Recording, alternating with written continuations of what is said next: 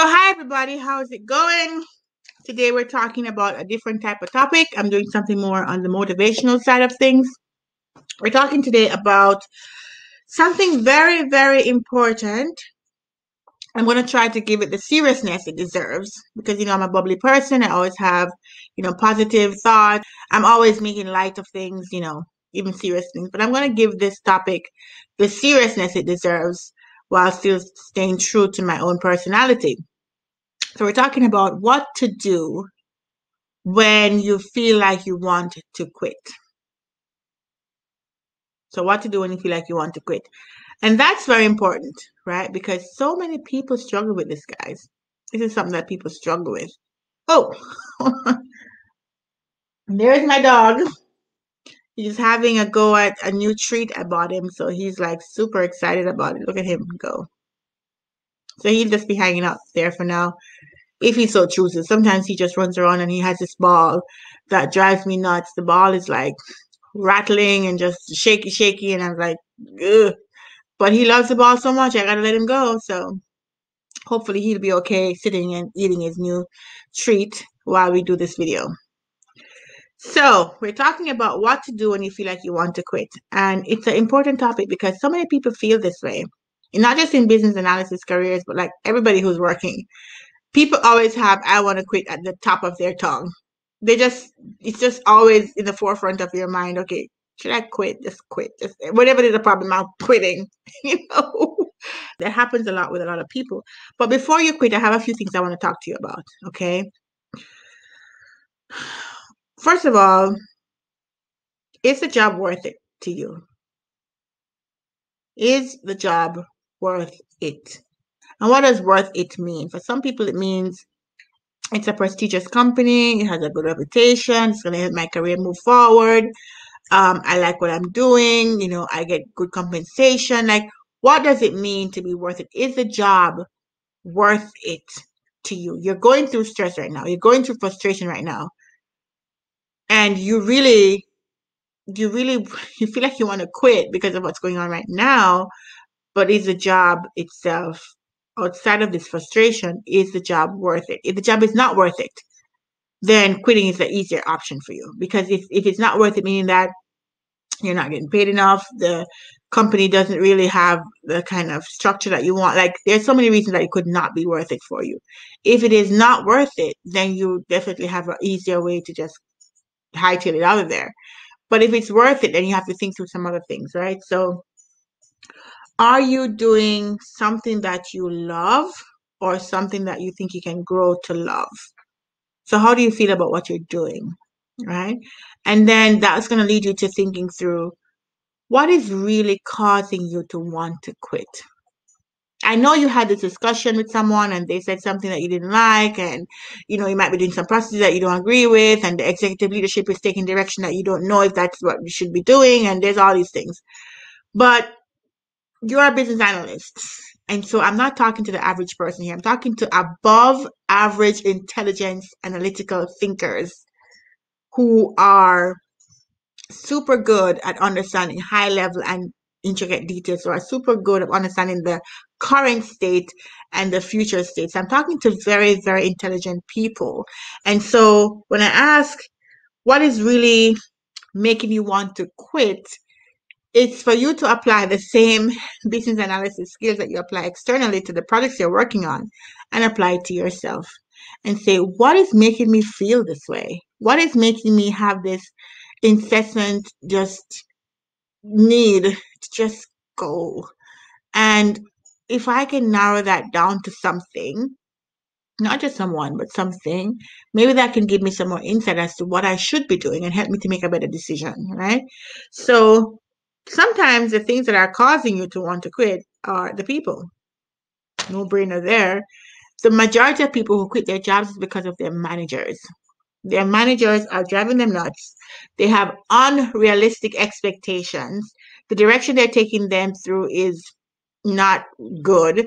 There's multiple levels of approvals, lots of rework, and it's just frustrating working with these people. Personality is not good and they don't communicate things that they should. They don't tell you what's going on. You're kind of left out in the wilderness trying to figure out what they decided to do and yet you're expected to, to deliver. And you're like, why am I living like this? What's my life? Why is my work life like this? I shouldn't have to go through this. And I should just quit which is what most people think, right? So is it the people that's causing you to want to quit? And if it's the people causing you to want to quit, are you able to change who those people are? Can you work on a different project? Can you go to a different department? Is there anything you can do within your control to alleviate this pain right now? You know? Um, obviously, I know you'd have thought about that because you're a business analyst, you're above average intelligence analytical person. So I'm just speaking to the choir right here. I'm preaching to the choir. But I thought I'd say it. The other thing that could cause you to want to quit is the process. You just don't agree with the process. You don't think that this is the process that we should be doing. And being a process person yourself and being able to improve processes for other departments and other people when you see your own project process or your own product management process like not right, you're like, hmm, I'm over there trying to help people make their process right, but our internal process is not right. And I'm struggling with the process that I'm in when I'm supposed to be helping other people make better processes. Something right here. Right? So that causes a lot of frustration, especially when you're the person doing the thing and somebody else is making decisions about the thing you're doing, but they haven't had the experience of doing the thing that you're doing, but they're making decisions about it. So they haven't, because you're a business analyst, these things are more irksome to you because you know what should be done you know you have to empathize with the customer or with the user or the end the person's going to consume your end result right? So when you have to do that for your work and yet still within the team that you're working with they're not doing that for you. So the people above you are making decisions about what you do but they haven't had a day in your in your shoes. And so you're like this is not how you do a process okay? This is you don't just dictate a process and say here go do it you don't even know the problem you're solving. You don't even know what the root causes are. You haven't done any analysis. And that's why I always suggest that leaders, all executives, should be business analysts in some way because they need to understand the root causes and need to understand markets and trends and all these other things and be able to apply that to different teams that they work with. But I, I digress. The point is that you you're frustrated with the process and you maybe try to change it, try to influence upward, and you can't get that influence, and you just feel like it's being dictated down to you, and you don't want to get on board with something that's going to not take in the right direction that you think you should be going. But again, processes change, priorities change. Um, sometimes you let the process run its course, and when it doesn't work, you can, in yourself, you say, I told you so. I knew, I knew it. But you could say, right now, they're not doing it the way I know it needs to be done, so let me quit. Or you could say, let me try. Have you tried the new thing? I mean, you know, it's probably not perfect, but have you even given it a try? You have to give it a try so you can, you can, you can know that it really didn't work because you too tried it as opposed to, I'm not even going to try it. And, and I know it's not going to work. And then you kind of sabotage it, right? So have you really given it a try? The other thing that people might be frustrated with is the tasks, and that links to the process. You don't like the task you're doing. For example, you get hired as a business analyst and you expect to be doing elicitation and stakeholder interviews and you're writing requirements documents and user stories and you're coming up with features and doing ideation sessions. That's what you signed up for. You get in there and you find yourself doing support. You're supporting the technology and you're not coming up with any ideas and the ideas are being handed down to you already done and you're just documenting stuff and you're not using your analytical skills and you're like i'm an above average valuable professional. I'm not using my intelligence here. I'm just like a scribe just writing stuff. I'm like a tech support. I'm like you know or you could be doing something like okay i want to do um you know, I want to have more influence on the, the, decisions that are being made because, you know, I want to do more elicitation, all that stuff. And I find myself writing SQL queries. So I'm just querying data all day, querying data, querying data. And then I pass that data to somebody else who decides how to use it. I'm like, but I'm just I'm like a programmer almost. Like I'm not doing I'm not doing business analysis, am I? I want to quit. so, I mean, these are things that happen to people and they really feel the frustration here. And that's why you want to quit because the task you're doing is not what you signed up for. You're not happy, right? I get it. I really do. The other thing is, you know, the norm money. I'm not being paid what I know I deserve.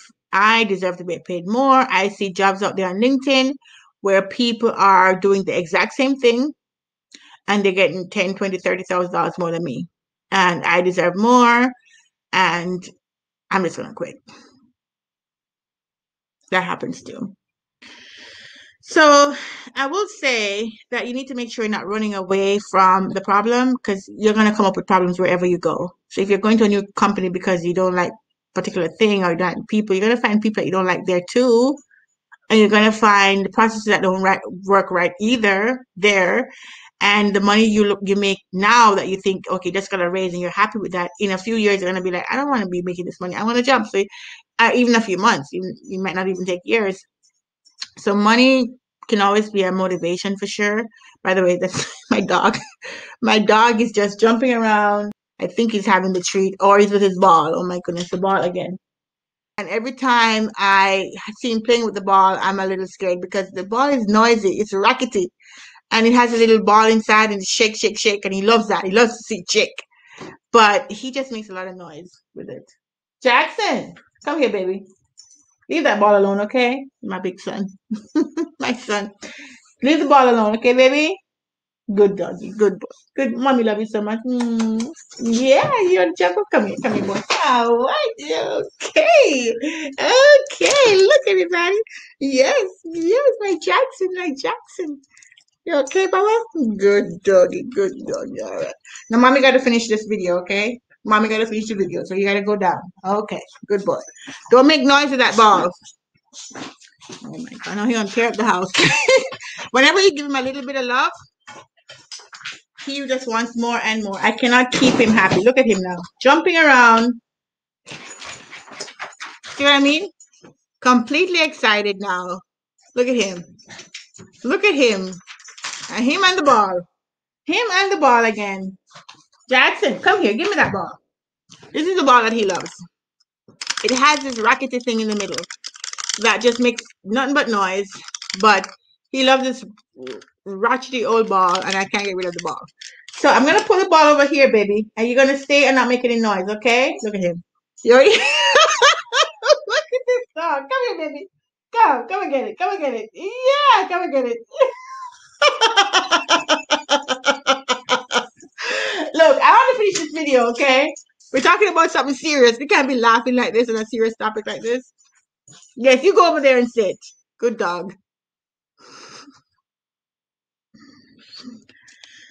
All right, so don't just run away, right, from the problem. And also don't let anybody push you out. Sometimes new people come in with their new ideas and new things and they just like go off and off and then you just feel like you're you've been there long enough doing all this stuff and somebody new comes in and all of a sudden they have all the influence and now everybody's like yeah it's a great idea and start following what they're doing and kind of pushing you further and further in the back. This happens too and you feel like okay so i i, I wasn't doing i wasn't doing anything then. I'm like i'm i don't have any value now all of a sudden? Okay well bye and you want to quit but remember that i'm going to tell you if nobody's told you you are absolutely valuable what you bring to the table as a business analyst. You make it look easy. You make it look easy because you apply the skills and the techniques. And so they see the end result that looks easy, but they don't know the work it took to get to that effort to be able to do it so well that nobody even realizes it's been done well because it's flawless. You are valuable and you are you, and there's only one of you. And when you go to their job, you bring yourself to it and you bring your personality to it and there can only be one person like you to do it the way you do it. It's immensely valuable and what you apply to your projects is priceless. And they don't say to you. They don't mention it don't even recognize it but i'm telling you that you have to have that internal motivation because you know that what you bring is immensely valuable and so nobody can just push you aside and push you out Okay, nobody can just push you out like that because you know in yourself that your value doesn't depend on the success of the project. Your value as a professional, you are an above average, intelligent, analytical, valuable person. And you're a professional and you know what you're doing. And so you don't need to feel defeated or that you have been set aside or that you're you're not valuable because you know from yourself. You don't need somebody to tell you. It's not outside. You don't need somebody to tell you that. You know it. You know it. And you walk with that confidence, girl or men. You walk with that confidence, people, because you know you have it and you know you can do it. And if they don't want to recognize it, that's fine. But you recognize it for yourself. You have it in you. Okay. So don't ever let that be um, something you internalize. If you have to quit, you quit, but don't internalize that you're not valuable because you are. You are. You really are. Okay. So just know that. The other thing about thinking it through quitting is what is your actual end goal? What are you trying to work towards? So for me personally, I have 10 year goals. And we just started a new decade in 2020. So I have my 2020, 2030 goals. So I normally have a 10 year goal, a five year goal, a one year goal. And I'm working every day towards my one year goal that will get to my five year goal, which will get to my 10 year goal. And some of these, the 10 year goals are like big, big things that I have no idea how I'm going to accomplish. right? It's like a challenge for me to get there. Five year goals are a little bit more accomplishable, and one year goals are definitely like tactical, tactical stuff. But they all align. So if you're quitting your job, is the move going to help you get to the goal that you have? Some people have a goal to have their own business. Some people have a goal to accomplish certain things with their family or personal things. I don't know. The people have their goals for different reasons, but if you shift your job, is that going to help you get to that goal? And you want to make sure you're moving towards the goal at all times, right? Um, making sure that it aligns is very important. So you don't want to make moves that are not helping, right? Like if you're trying to become a senior business analyst or you're trying to get into um, a particular you know, vertical or industry, then moving to something else just because it pays you more may not be, even though you get more money, doesn't need to align with your goal. So are you, are you really going forward or are you going backward? You got to think about that. So there are benefits to quitting and there are benefits to staying. I want to talk to you about both. So when you quit your job, you just get this this breath of fresh air. you know, you just you're starting something new. You you definitely get rid of the old problem. The number one benefit to quitting your job is to get rid of the immediate pain to get rid of the immediate problem that you have and to start something fresh. And that's why I said to you, you need to think about if your job is worth it because if the reason you want to quit is because something happened yesterday or somebody said something to you uh, in a meeting and it's just so irksome to you and so bothersome to you and so stressful to you and so frustrating to you that you want to just leave then you got you got to think about that because that might just be in the moment that this happens so don't make a permanent decision for a temporary situation. Don't make a decision that's going to be a lasting effect for something that's just going to be for a little while. You have to think through those things, right? So, getting a new job is going to remove the immediate pain, but you don't know what, what is coming with that new job. It might be other kinds of pains, right? You can't just jump every time you have a problem. So, that's the benefit though of quitting that you get rid of the pain that you're feeling right now. Um, you get a pay hike. The best way to improve your salary is to jump jobs, to switch jobs. Because if you stay in your new, your regular job, the job that you have now, even if you get a bonus or you get some kind of commission, even sometimes when you get a promotion, you don't get the same amount of pay like you get when you switch to a new job. So switching to a new job is the best way to get a bigger chunk of pay raise.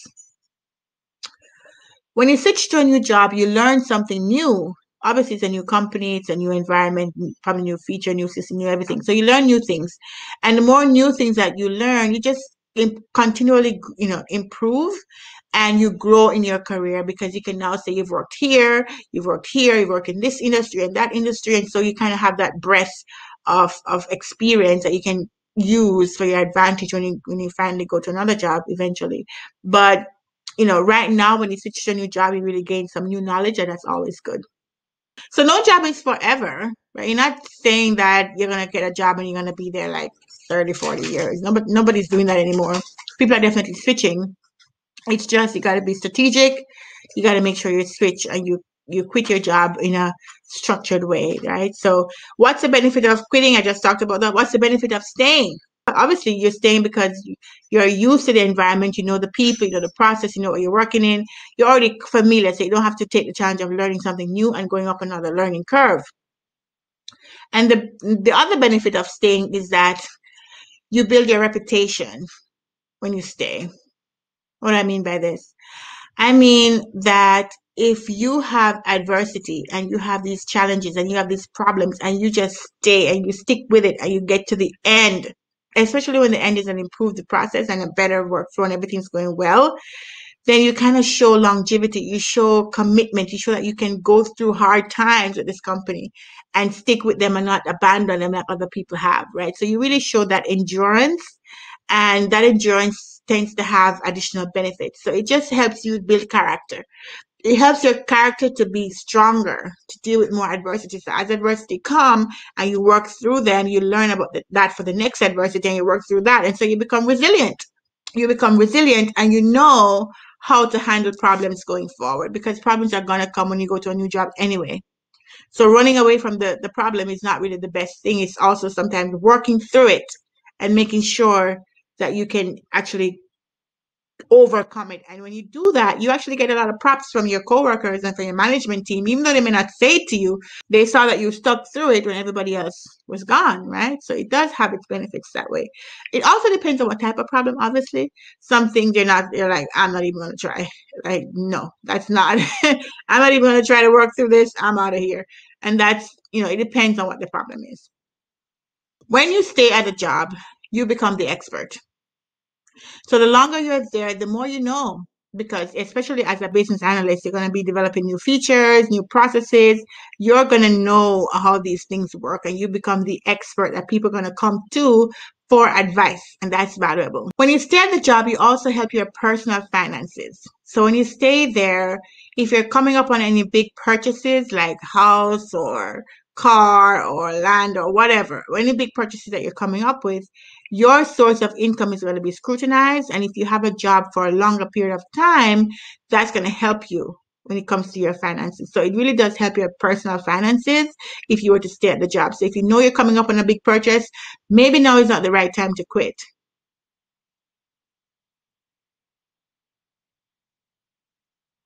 The other thing too is what is your goal? I talked about it just now, but if you have a goal, if you stay at the job, then you already have that kind of settled and you can focus a lot on the goal that you're trying to accomplish in the next in the near future. But if you're switching jobs and you quit the job, then you have to be focused on finding a new job, sending out those applications, doing those interviews, and that kind of distracts from the goal that you're trying to accomplish. And then when you do get the new job, you have to you know work on doing well in the job and keeping the job and learning all the stuff and doing all that stuff. So you kind of distract from what you're trying to do, which is your end goal. So make sure that if you're switching the job and you really have to quit, then you know you know it's going to impact where you're trying to go. So make sure you evaluate that as well. The other thing too is that when you stay at the job, you even though you have problems with your management team and all that stuff, at least you know they know you and you know them the problems that you're having, um, at least you know what the problems are, right? When you switch to a new job, you have to prove yourself again to a new set of people. And so you got to work a little bit harder to prove to build that reputation again. And you don't know who you're dealing with, so you got to figure that out too. So that's with quitting that you don't have if you stay. So on both cases, quitting the job or staying, there's uncertainty. You, you can't know exactly what's going to happen in the new job. You can't know exactly if you stay in the old job if it's going to get better. So there's uncertainty on both sides. So that's why I say you have to really think through this. And I hope I gave you some points to think through. Um, so you don't make a rush decision and don't just like get mad and send a mad email and be like, I'm done with you guys. Great. don't, don't do it. don't do it at all. Just don't do it. Right? It's never. I laugh about it because sometimes I, I made a video and I gave an example in that video when I was mad at something at work and I wrote a very angry email. and I was like banging on the keys and I look back at that person. And I was like, who is that person? I wish I had me now to tell me then not to do that. Don't do that. Don't send angry emails at work. Just don't do it. And if you have to quit, you must quit graciously. You have to quit with grace. You have to give your employers enough time to find your replacement, at least two weeks. You you have to tell your bosses who you report to that you're going to quit before you tell your coworkers. You have to make sure you don't say bad things, don't send angry emails. You know, give everybody like a nice farewell message, but don't be like blaming nobody in there. You can't quit with any kind of anger around you because that's the last memory they'll have of you. You don't want to leave with that bad, you know, impression of you. You don't want to do that. And if you even have an exit interview, because some companies do exit interviews, you can give constructive criticism, but don't go in there trying to lay the blame on everybody else but yourself. Okay, you must quit with grace if you're going to quit because that's what is a professional thing to do. And remember, you're above average, valuable professional, analytical. I mean, I can't remember the order, but you're above average, valuable, analytical professional. And so you're going to do all these things in the right way. So there you have it. Don't be a hater, be thankful. Don't be a hater, be thankful when you quit, if you quit. So this is what I wanted to talk to you guys about. I hope I gave you some food for thought in this video. Um, I think there's a lot of merit to staying and not making a rash decision to quit. But if you have to quit, quit with grace. And I wish you all the best in the new job when you find it, or if you've already found it on your way out, I wish you all the best when you start that new job. And I have a video actually, put it here, about what to do when you start your new job. So go watch that as well. But I wanted to give you this little motivational piece because, you know, this is a challenge that people have and they struggle with this a lot. And everybody's thinking about this. Nobody wants to talk about it. So I thought it might be useful to talk about it. And I hope I gave you um, enough information to cause you to pause and think through this. And I really wish for you to have all the best. You know, I wish success to everybody who follows me and watches my video. And I want to give you the motivation that you may not even get from your family or even from your coworkers. But I want you to know that you're a valuable person. You're a valuable business analyst and you're bringing a lot to the table. And anywhere you go to work, they're going to have to see that value. Okay. So thank you guys. This is all I have for today. I will see you guys in the next video. Take care. Bye bye.